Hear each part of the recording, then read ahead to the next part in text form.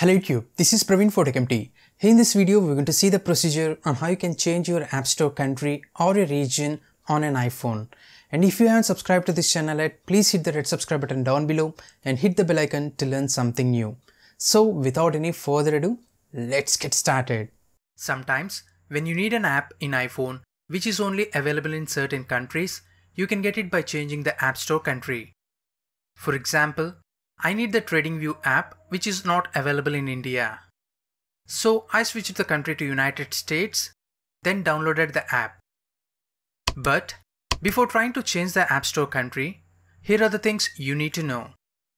The first one is to spend the remaining credit that you have with the Apple ID in the current region. Second one is to cancel any of the subscriptions like Apple Music etc and should wait till the end of the subscription period. Third, if you have any pending refunds, you should wait till it reflects in your account. Fourth, make sure to have a valid payment method for the new country. You may or may not be asked to enter the new payment information. Once you feel okay with these conditions, you can proceed to change the country or region of the App Store. To do that, unlock your iPhone, then open App Store. Tap on your profile picture then again tap on your account.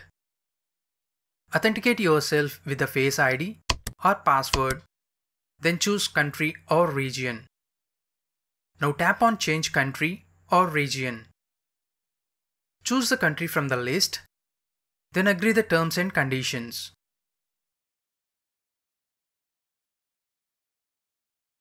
Now you can enter the payment information if you have one or just choose none if you don't want to use any payment method. Remember, you may or may not have this none option.